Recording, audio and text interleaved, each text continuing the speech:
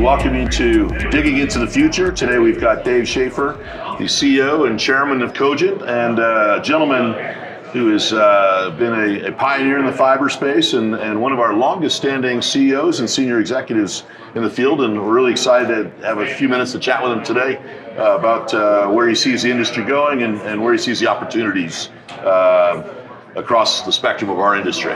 Dave, welcome. Well, thank you, Bill. I'd like to thank your audience and really appreciate the opportunity to chat with you today. Oh, thanks.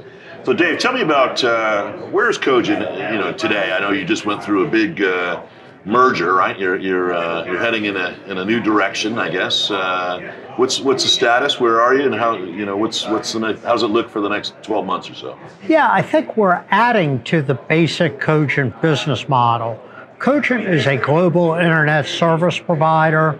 We operate a network that touches 54 countries roughly 80,000 route miles of intercity fiber connected to another 18,600 miles of metropolitan fiber, nearly 230 markets across our footprint, 1,600 data centers connected to our network, and nearly a billion square feet of multi tenant office space where we sell high speed internet and VPN services.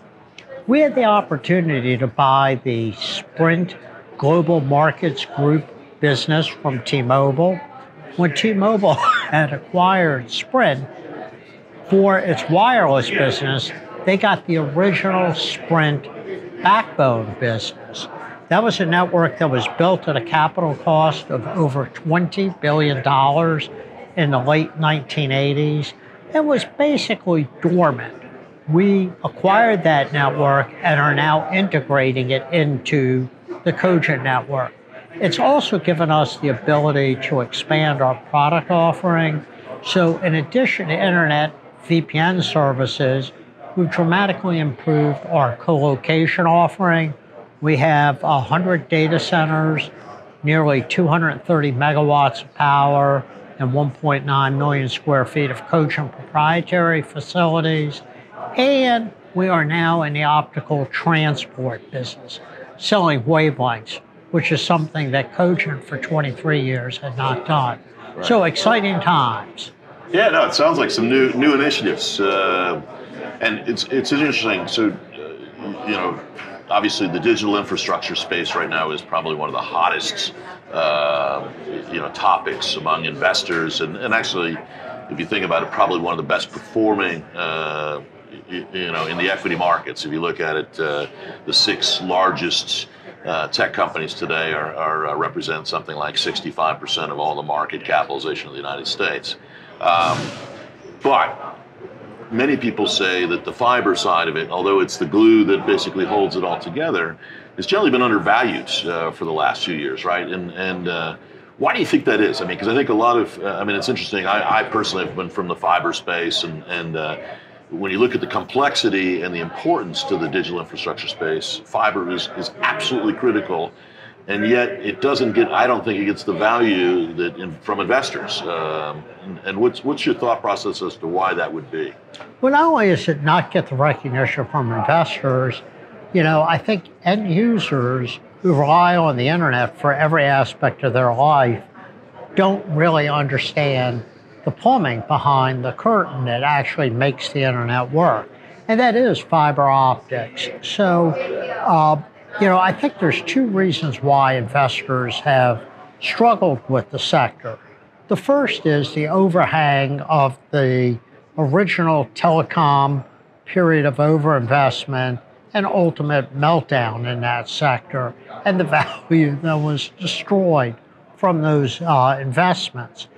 I think the second challenge has been that while the world benefits from fiber to the premise, a fiber overbuilder struggles with competing with the multiple technologies that already exist, whether it's twisted pair, coax, fixed wireless, or mobile, or even satellite.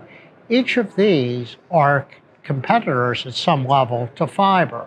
Now, fiber is a technologically superior medium, But because your costs are proportional to homes or businesses passed and your revenue is only proportional to those served, unless you get a significant market penetration quickly, you don't earn a high enough rate of return.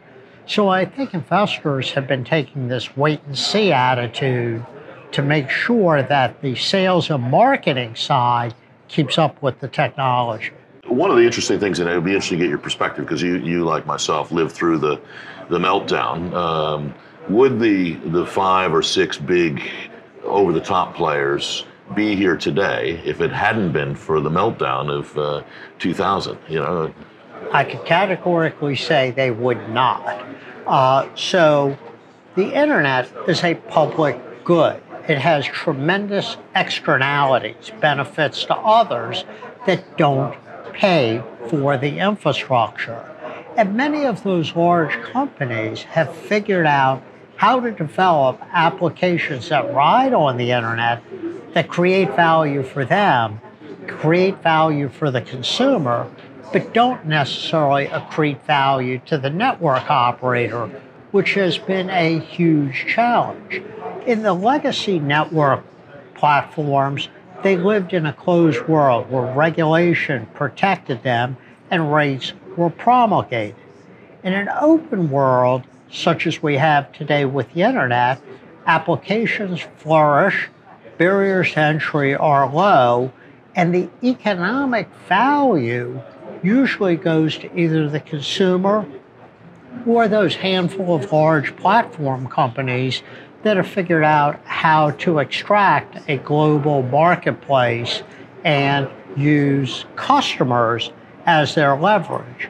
So the $2 trillion that was lost globally in the telecom meltdown actually has created probably 10x that in economic value for the world. But those who receive the value are different than those who have lost it. Well, let's let's let's uh, for our final uh, little line of questioning here. Let's talk about the term that we talk uh, we call artificial intelligence, which uh, I think you would argue is not really a great term, um, you know, for what's really happening in the world, but but more just in some ways maybe just uh, faster uh, databases that uh, people are actually having access to or having access to the human database uh, that's around the world. Um, what do you think is the future? I mean, it's probably uh, you know the most talked about area right now, and it's actually uh, in the investment community and in the and in the infrastructure industry. It's where we're putting our money, trying to, to see where that next area of growth is. So, just as we will have self driving cars or flying cars, we will have cognitive machines that can think the way humans think and maybe even faster. But that's not what artificial intelligence is today. What artificial intelligence is today is the use of huge databases that have been collected at a very low cost over the internet that are the raw material for training machines. Those machines now have become sufficiently powerful that they can manipulate these databases, they can build large language models, and effectively determine patterns of behavior out of those random sets of data. Those patterns then allow us to project into future events what will happen. That is AI as we know it today. We are only scratching the surface on the data that we currently have, and the databases are being expanded exponentially every day because of the internet. You know, the concept of having privacy has gone away all of individuals' actions are collected, and it is from those collective activities that these patterns are being deduced. Now, those training machines are now starting to evolve to their second phase, which is taking the patterns that they have developed and now making inferences from them. And we're going to see that permeate every aspect of human life and even machine to machine interactions. So it won't be a standalone technology, but it'll be embedded in every technology. Much the way the internet is not really a standard technology. It's embedded in the other technologies. And the internet is the glue that holds that together. You're going to see AI be the glue of many other process and workflow improvements that will make us more efficient. Remember, the goal of innovation is to get more out of less, to distribute that to raise everybody's standard of living. Just as the internet has pulled billions of people out of poverty, AI will pull another wave of people out. It may not seem that way at first, but the innovation in every aspect of productivity that will come from AI will benefit us all. Well, thank you, Dave. Uh, it's been a pleasure to have you uh, with us here on Digging into the Future, and uh, thanks for giving us some insight. It's been a been a great chat. Thank hey, thanks, so Bill. Thank you all very much.